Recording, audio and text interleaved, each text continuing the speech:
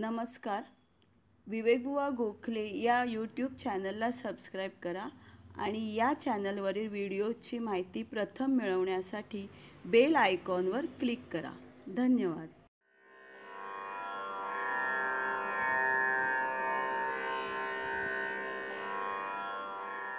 श्रीमन्महागणाधिपतये नमः. श्रीसरस्वत्यै नमः. श्रीसद्गुरुभ्यो नमो नमः. अवधूत चिंतन श्री गुरुदेव दत्त दत्त दत्त. मंडळी नमस्कार. दत्त बाबांनीच्या स्तोत्रावरती विचार पाहत असताना अँटीव्हायरस प्रोग्राम या स्वरूपामध्ये दत्त बाबांनी का म्हणायची? असा एक प्रश्नाचा उकल मागच्या एका एपिसोड्समध्ये आपण पाहिले. दत्त बाबांनी कशा पद्धतीने करायची? किंवा दत्तबावनीचा शब्दशः ओळीप्रमाणे अर्थ काय? तो तर आपल्याला क्रमाने क्रमाने पाहायचाच आहे. सगळेजण उत्सुक आहे का म्हणायची ती दत्तबावनी बघा भक्ताचे चार प्रकार आहेत. थोडी दत्तबावनी म्हणतानाची भूमिका आपण लक्षात घेऊया आजच्या एपिसोडमधून मग क्रमाक्रमाने दत्तबावनीच्या अर्थाकडे वळूयाच. भूमिका म्हणजे काय? भक्ताचे जे चार प्रकार सांगितले आर्थ अर्थार्थी जिज्ञासू आणि मुक्त. चार प्रकार भक्ताचे आर्तता निर्माण झाली पाहिजे. कुठल्या ना कुठल्या प्रपंचिक गोष्टीमध्ये इतक्या समस्येनं ग्रस्त झालाय की आता भगवंताला शरण जाण्याशिवाय त्याला आता दुसरा कुठला मार्गच नाही. अशी जेव्हा काकुळतीला आलेली स्थिती होते व्यवहारात तेव्हा तो आर्त होतो अशा काहीतरी निमित्तानं भगवंतांच्या सेवेसाठी भगवंताच्या उपासनेसाठी कोणी काहीही सांगितलं तरी तो दत्तबाबा म्हणजे जो कोणी काही सांगितलं की तो उपाय करायला तो तयार होतो. असा जो अर्थ झाला अर्थ अर्थार्थी काही ना काहीतरी पाहिजे त्याला काही ना तरी काही ना काहीतरी मिळवायचंय त्याला अशी ज्याची इच्छा आहे असा एक भक्ताचा प्रकार आहे. काम झालं की गरज सरून वैद्य मरू असं म्हणतात तसं. झालं एवढं काम होतं एवढं एवढं काम झालं मार्गी लागलं पुन्हा देव कुठं मी कुठे? जिज्ञासू. अर्थ अर्थात अर्थार्थी जिज्ञासू आणि मुक्त. जिज्ञासू त्याला जाणून घ्यायचं आहे की मी ब्रह्म आहे ना? माझ्या आत ब्रह्म आहे ना? मीच परब्रह्म स्वरूप आहे ना? अहम ब्रह्मास्मी ही जाणीव जर होणार असेल मला तर ते माझ्या तत्व कसं जडलंय? दडलंय? मग त्यासाठीचा जो अभ्यास जी जो जीव सुरू करतो तो जिज्ञासू भक्त. त्याला मुमुक्षु भक्त असं पण म्हटलंय. आणि चौथा एक प्रकार आहे मुक्त अवस्थेला पोचलेला भक्त. जो मुक्त आहे ज्याचं पोचायचं ठिकाण पूर्ण झालेलं आहे. म्हणजे त्याला आता काही करायचं नाही आहे म्हणजे लाभम मन्यते नाधिकंदत. आता त्याला दुसरं काहीही मिळवायची गरजच शिल्लक नाही आहे काहीच नको अशी जी स्थिती तो मुक्त अवस्थेला पोचलेला पण भक्त आहे. आता क्रमाक्रमानं बघू. बघा दत्तबाबांनी म्हणत असताना आपण दत्तबाबांनी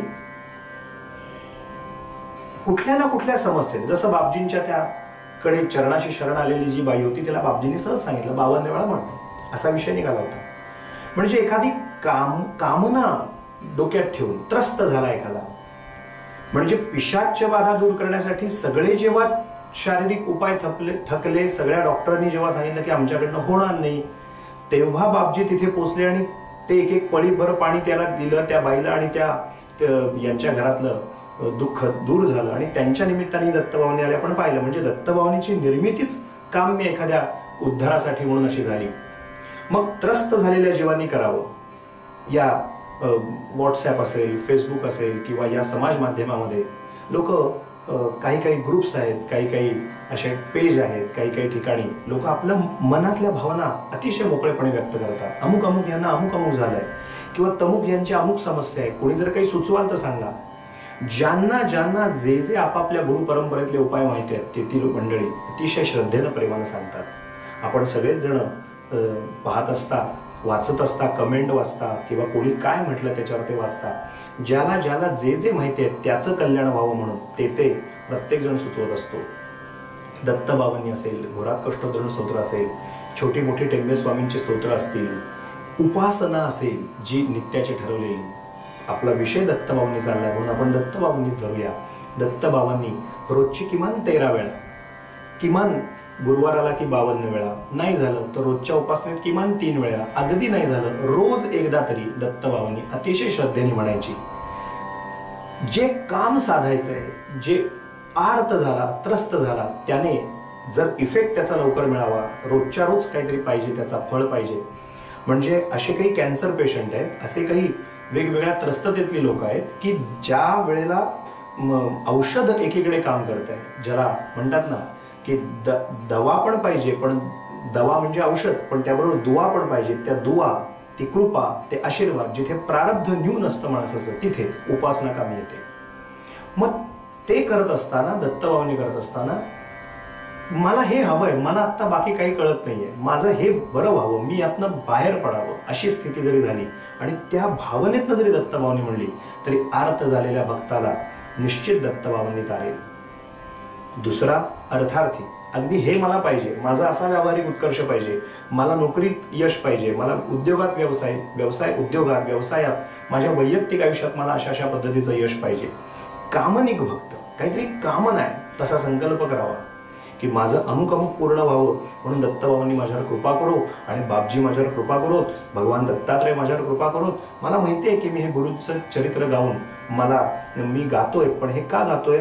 माझा व्यावहारिक उत्कर्ष व्हावा म्हणून गातो अगदी असा संकल्प करून जरी सुद्धा दत्तभावनी म्हटली तरी त्याचं कल्याण सुद्धा दत्तभावनी निश्चितपणे करेल.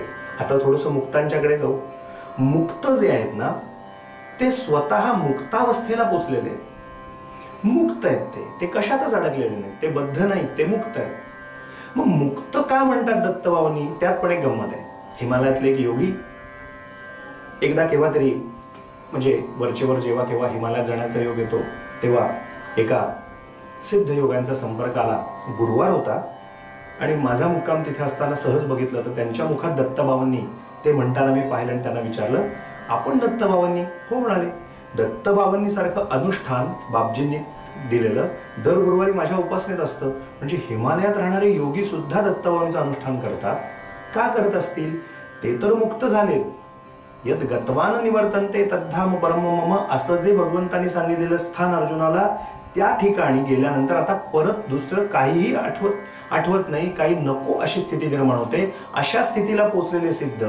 मग ते टेंबेस्वामी महाराजांसारखे असतील पर परमपूज्य बाबजींसारखे असतील एकापेक्षा एक एक असे जे अधिकारी सत्पुरुष मुक्त सत्पुरुष अशा पद्धतीच्या सत्पुरुष सत्पुरुष सुद्धा अतिशय श्रद्धेनं उपासना करत राहतात. का?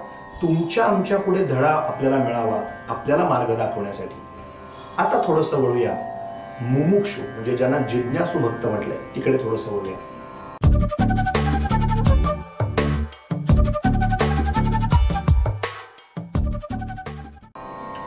मुमुक्षु याची व्याख्या फार छान केली. बघा भवपाश निबद्धस्य मम मोक्ष कथम भवे इत्याकुलम मनो यस्य सदीन कथ्यते बुधई म्हणजे काय हो? मी बांधलो गेलोय. एक जन्माचं टोके एक मरणाचं टोके जन्म आणि मृत्यू या दोन दोरीच्या टोकांमध्ये मी बांधलो गेलोय. जन्मानंतर मृत्यू होतोय मृत्यूनंतर जन्म होतोय जन्मानंतर मृत्यू होतोय. जातस्य ही ध्रुव मृत्यू ध्रुवन जन्म मृतस्त्यच ही अवस्था माझी सतत होते.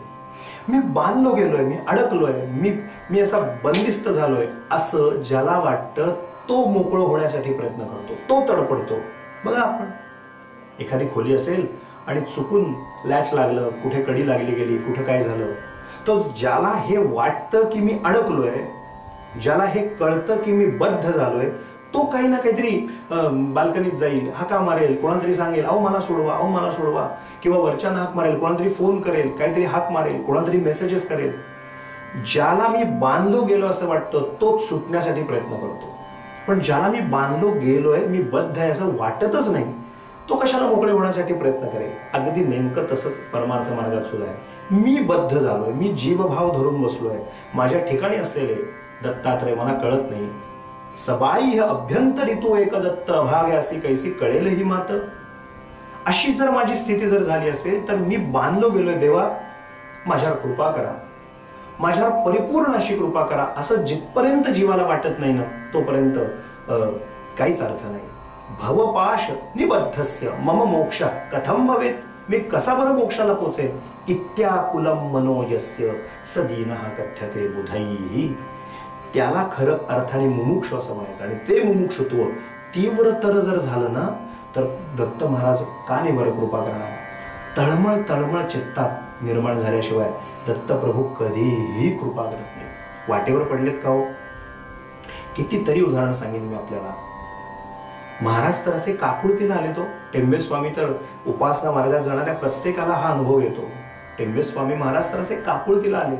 दत्तप्रभूंना कळवळून विचारतात की महाराज नंदन जो अनसूयेचा तो तू कैवारिया मुचा कैवारिया मुचा तो तू कैवारिया मुचा आमुचा तू म्हणो जरी भेट कान देसी हरी कान देसी हरी भेट कान देसी हरी हरी माझी अंतर्गथा पद दावी तुझे नाथा दावी तुझे नाथा पद दावी तुझे नाथा. काय शब्द वापरला? नाथा आलो का कुळती नाथा आलो का कुळती. कळ कळसी नका चित्ती कळसी नका चित्ती कळ कळसी नका चित्ती का चित्ती न ये दया का चित्ती नये दया? वासुदेवाची गुरुराया देवाची गुरुराया वासुदेवाची. मला काय सांगायचंय? या पद्धतीने कळवळणं आर्त होणं अतिशय तडफडणं तळमळणं तगमग होणं. आमचे गुरुजी अभंग सांगायचे. तुकाराम महाराज असतील रामदास स्वामी असतील जेवढे जेवढे संत सत्पुरुष झाले रंगावत महाराजांपासून सगळे अधिकारी ते तळमळले. त्यांना तगमग निर्माण झाली चित्तात. मला कधी भेटशी?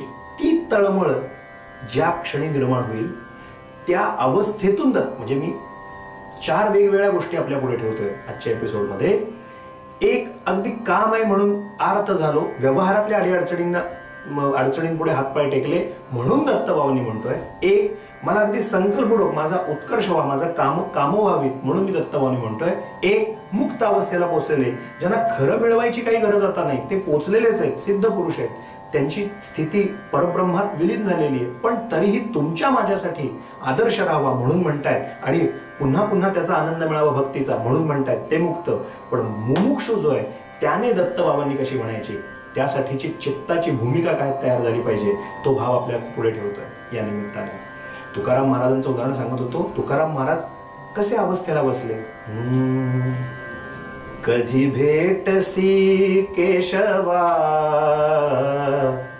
कन्या सासुऱ्यासी जाय मागे परतोनी पाहे. तैसे झाले माझ्या जीवा. कधी भेटसी केशवा. कधी भेटसी केशवा.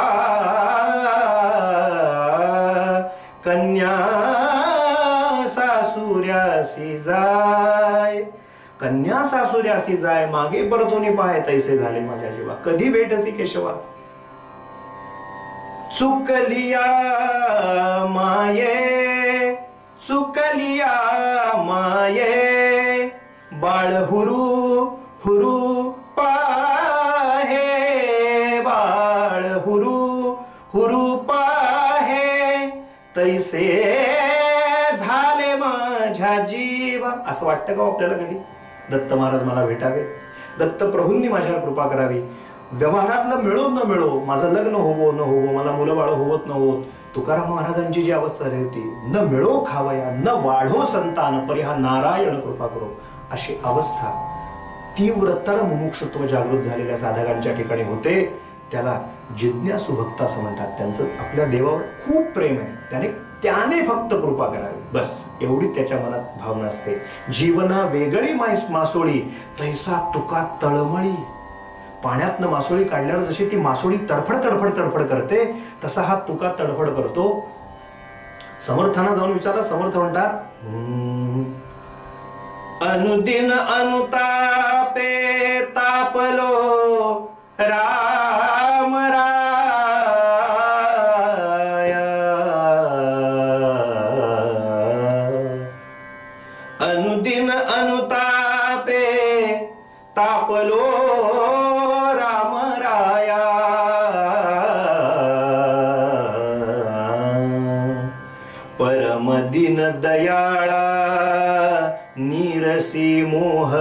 माया. अचपल मन माझे नावरे आवरीता. तुझ विणशिण होतो धावरे धाव आता. काय अर्थता करुणाष्टकांमध्ये? समर्थांच्या ठिकाणची अर्थता तुकाराम महाराजांच्या ठिकाणची अर्थता टेंबे स्वामी महाराजांच्या ठिकाणची अर्थता जेव्हा तुमच्या माझ्या चित्तात निर्माण होईल ना? आणि त्या भूमिकेतनं मला माझं काम होवो न होवो पण महाराज मी आज गुरुवारी बसतोय. आव्यो शरणे बाळजाण ऊठ दिगंबर चाल्या प्राण. किती सुंदर सुंदर पद्धतीनं रंगावधूत महाराजांनी दत्तप्रभूंना अळवलंय क्रमाक्रमाने आपण या माध्यमातून पाहू. आज इथेच वेळेची मर्यादा लक्ष घेता वाणीला विराम देतो. आपण पुढच्या काही भागांमधून ही मुमुक्षु जीवाची ही जिज्ञासू भक्ताची भावना आपल्या चित्तात ठेवून दत्तबाबांनीच्या स्तोत्राचं त्याच्या ओळींचं त्याच्या प्रत्येक लिटी म्हणजे ओव्यांवरती यथामती यथाशक्ती चिंतन पाहू. आज इथेच वाणीला विराम देतो. सर्वांना प्रेमपूर्वक नमस्कार. पण नक्की दत्तबाबांनी आपण दर गुरुवारी म्हणा आवर्जून म्हणा बोलो जय जय श्री गुरुदेव बोलो जय जय श्री गुरुदेव बोलो जय जय श्री गुरुदेव अवधूत चिंतन श्री गुरुदेव दत्त दत्त दत्त